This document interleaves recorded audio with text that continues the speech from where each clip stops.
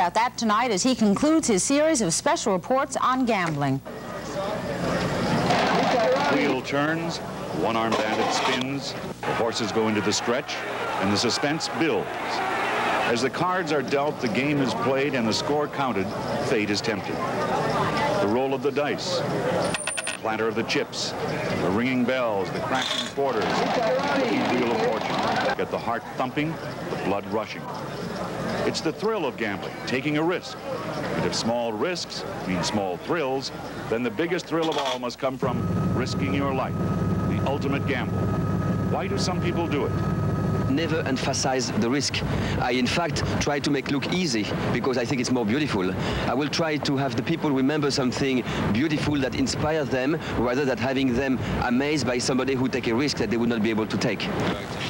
Philippe Petit walked the tightrope between the twin towers of the World Trade Center, the highest wire ever.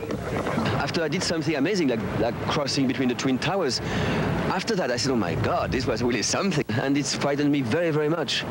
But uh, then it goes away, and to the next performance, I put again all my mind trying to do something beautiful. The man on the high wire, once he does it once, uh, and everything else pales by comparison, it's a form of even, you might even call it a fix. Uh, every time he gets on that wire, when he comes down, it's, he's, he's a letdown, and he only lives to get back up there again. The World Trade Center seems to be a magnet for daredevils. Owen Quinn likes to take a chance now and then, probably his most famous gamble, jumping off one of the Twin Towers with a parachute.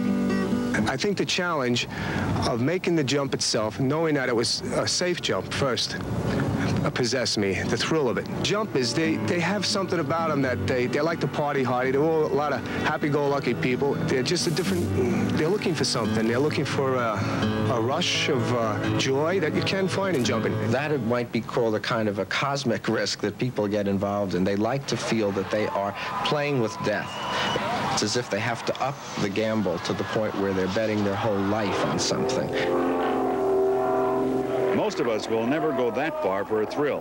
Jumping out of airplanes or leaping off tall buildings is a gamble with high stakes. Most of us would rather look for the rush of excitement by wagering a few dollars. But we all gamble in some way. Marriage, for instance. Risk-taking is a part of life. It's just that some among us feel most alive only when making the biggest bet. As the philosopher said, if you're bored with your life, risk it. I'm Roger Grimsby, Channel 7 Eyewitness News.